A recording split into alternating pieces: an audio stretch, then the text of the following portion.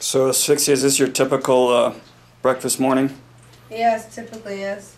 There's coffee that I'm not supposed to drink here, and you've got your uh, lifeguard suit on because you you're you've always wanted to be a lifeguard. my whole life I've always strived to be like. There's still time. There's still time. Well, I learned how to to spin in the water. Yeah, that was amazing. I've learned how to twirl.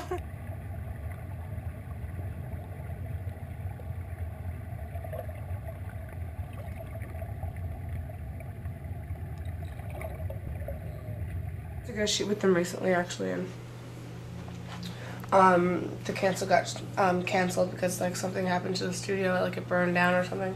Oh dear. Mm. Or construction or something. I make everything. I always make everything sound ten times more dramatic than it is. I always over exaggerate. It's like a curse. I can't help it.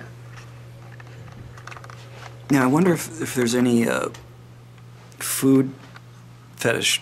Oh, absolutely. Yeah. Mm-hmm. No, absolutely. There's food fetishes.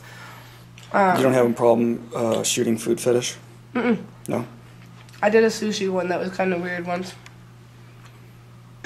And they put sushi all over body. Oh, Uh, the old sushi tray trick. Yeah, but it wasn't so much that like they didn't eat it off my body. It was like sexually involved. Like they were touching me, and usually traditionally you don't touch the the person's body, You don't touch the tray. and you work from the outside into the center because the center is where the most expensive fish is. Would would, be around the most erotic places, Uh huh.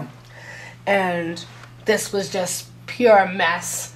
Was just sushi everywhere. Then there's rice everywhere and sticky fish, and I, that's the weirdest one that I think because it's like it's fish. It's raw fish being spilled in my body.